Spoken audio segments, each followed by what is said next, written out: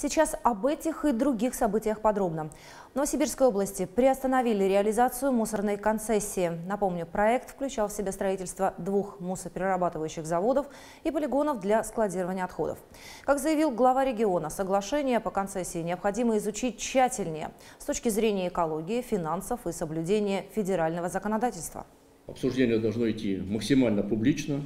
Общественность должна быть широко информирована вот, о том, как идет обсуждение, при, э, дать возможность всем принимать участие. У нас очень мало времени. Почему?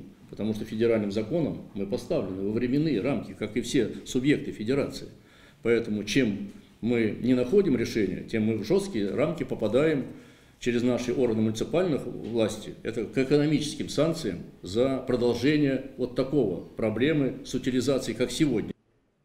Если регион не успеет вовремя перейти на новую систему переработки и складирования отходов, потери бюджета могут составить полтора миллиарда рублей. Крайний срок запуска проекта – конец следующего года.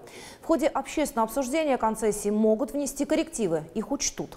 Власти могут и расторгнуть соглашение, если не удастся достичь договоренности с инвестором.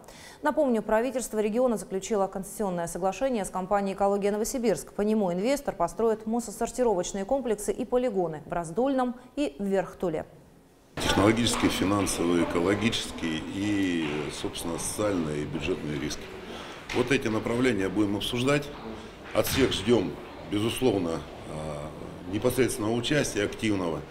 Но сразу очень попрошу всех, чтобы тот, кто принимает участие, не просто говорили, что вот так не пойдет и ни, ни в коем случае нельзя и так далее, а как можно, как нужно, своими конструктивными предложениями, чтобы работа была интересна, чтобы работа была на благо. Подчеркиваю, федеральный закон в сроках нас ограничивает.